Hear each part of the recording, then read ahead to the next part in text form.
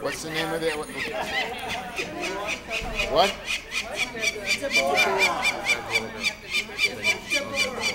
With an S or a Z? is a David. Yeah, Deborah.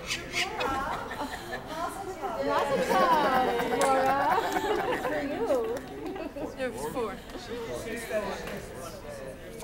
Uh, that, that's a boy. This this one looks. I know it's small, but the feet just. oh, they just look a little wide.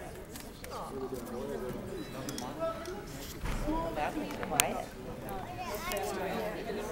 Yeah, no, that's littler. Oh, they got it That covered. being away? Yeah, that's got to be a boy. It's the smallest one there. You know, it's small in body size, but the size.